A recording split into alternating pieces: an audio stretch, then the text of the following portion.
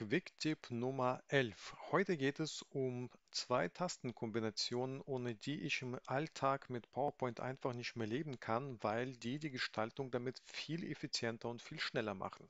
Und zwar geht es einmal um die Tastenkombination STRG plus Shift und F4. Und zwar stellen wir uns mal vor, wir haben hier eine Form und würden die gerne kopieren. Klar können wir Copy-Paste und äh, Einfügen machen, aber wenn wir STRG-Taste und Shift gedrückt halten und dann mit der Maus auf die Form klicken und dann einfach zur Seite ziehen, dann wird diese Form kopiert und das Schöne ist, die bleibt auch immer auf der Linie. Das heißt, ich kann jetzt weder nach oben noch nach unten.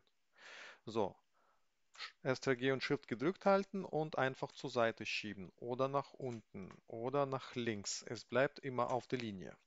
So, und wenn man jetzt noch mit der F4-Taste verwendet, äh, verbindet, weil F4-Taste ist Wiederholungstaste. Alles, was wir tun, wird mit F4-Taste wiederholt. Das heißt, ich dupliziere mir einmal die Form und anschließend drücke ich jetzt F4-Taste und die Form wird hinterher in gleichen Abständen einfach nacheinander dupliziert. Das bedeutet, wenn wir zum Beispiel so eine Folie bauen oder eine ähnliche Folie, dann brauchen wir nur ein Element uns zu erstellen und anschließend können wir die alle markieren.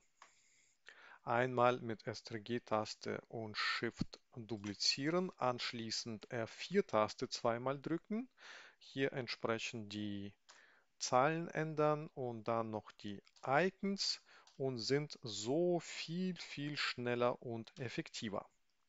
So, wenn dir dieser Tipp gefallen hat, dann denk dran, dich mit mir zu vernetzen, dass du keine weiteren Tipps mehr verpasst. Und wenn du äh, Ideen oder vielleicht Wünsche hast für die weiteren Tipps, kannst du mir auch immer unter Kommentare schreiben. Ich freue mich bis zum nächsten Mal.